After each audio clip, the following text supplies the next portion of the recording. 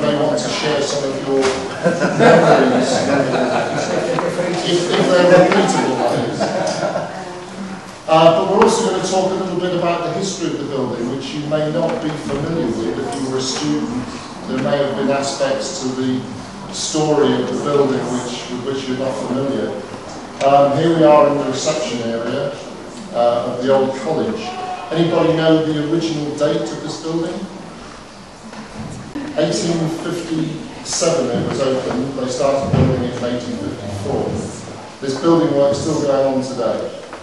So up here on the wall, somewhere along here, should be, if you're a former student, uh, the head teacher who was here in your day. Uh, Mr. Miles is here today. E.H. Robinson, Ernest Robinson, uh, 1923 to 1955. College for the Congregational Church.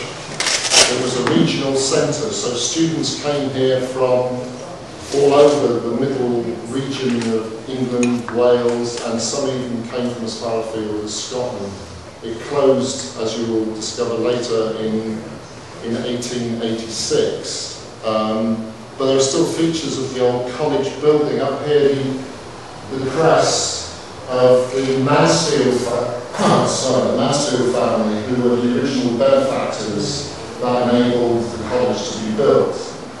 Uh, on this wall, the memorial dedicated to the 96 former students of the school who died in the Second World War. Every year there's a memorial event, a remembrance event here in the, uh, in the reception area, area if you'd like to join it this year, you'd be very welcome. You can just take your minds back to the time when this was uh, a library in the college. There was an organ uh, on the um, on the gallery here back in the uh, 19th century. And this was not just a library for the original college, it was also a chapel. They didn't hold many services here in the building because the idea was for the young men to go out and assist in uh, helping various chapels right across the region. You may have noticed the spider's web of steel uh, going across the space in there. I've just been asked what that's about. It goes back to the restoration of this building in the 1990s. Um, Spring Hill College, it is now, and as it was originally, um, was restored, was one of the first buildings to receive funding from the Heritage Lottery Fund. This was originally part of the head's house. This Moseley School was pretty unique back in the 20s to the 70s, early 70s in having the head teacher living on the job. So the head and his family occupied this room and some of the other rooms that we're going to move into in a, in a, in a moment. Uh, this was discovered when the building was being restored in the mid-90s and they um, protected it, there's the suggestion that it uh, is the original um, wallpapering for the college. Just point out one or two things here in the room, and particularly this discovery which was made when the builders were in in the 1990s. As this is the only uh, copy we have of the original layout of the college. Uh, so it dates back to the mid 19th century. So this is the room that we're in at the moment. In the principal's uh, house, we're in the drawing room. We started in the hall or reception area, we came through this door into the library, we came through that door which wasn't original into the principal's study through that door and then into the drawing room. But the one thing I want to point out is that although the rooms along the front elevation are pretty much today as they were originally, there's been massive changes in the wings. As you can see, the wings were divided into very small study areas on the ground floor. There are two floors, and there was an exact replica of those of that arrangement of rooms on the first floor. and those were bedrooms for the students. So bedrooms on the first floor and studies on the ground floor. All that space has changed. Much of the, these walls have been demolished in order to convert the space into classroom usage for the 20th century. In the days of the college, originally had a, uh, from the steps, had a double row of trees leading across into the far um, extremity of the playing fields and standing at the end of that um, column of trees was an obelisk. I brought you here and stopped you here because I want to take you back to that uh, plan that we saw downstairs in the head's house. Do you remember the size of those rooms? This is now a corridor. Remember this floor, anyone remember what I said was on this floor? Bedroom. Bedrooms, yeah. Very small, cellular-like rooms. If you're a former pupil, you may or may not have noticed these strange triangular forms which jut out into the corridor along here. These are, these are where the fireplaces for the students uh, went. They were allowed a, um, uh, an allocation of coal for, for, I think it was from November through to April.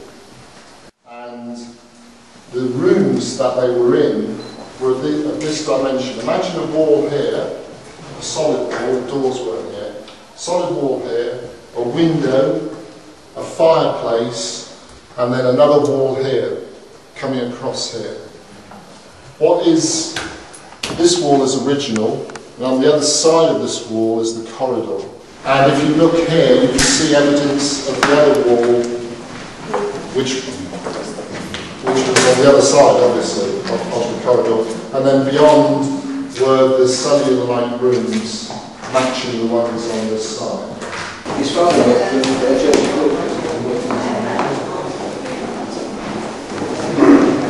1857 building, this is fresh air again.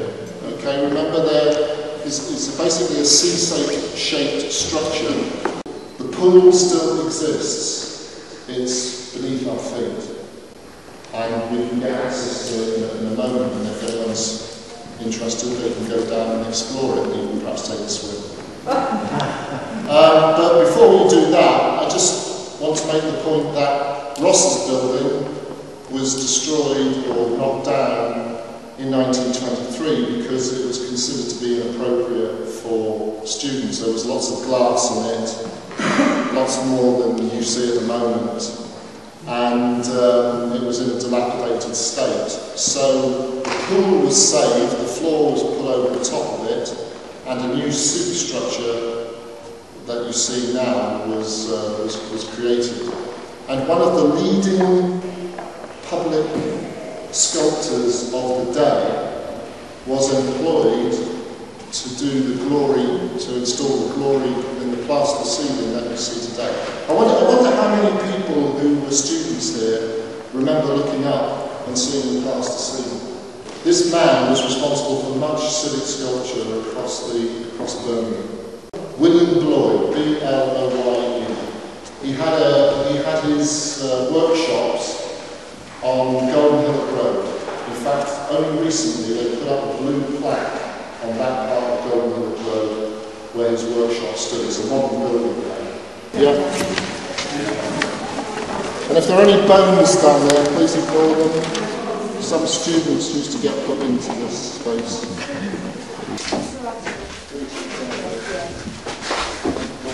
You know, very good chili and mine as well.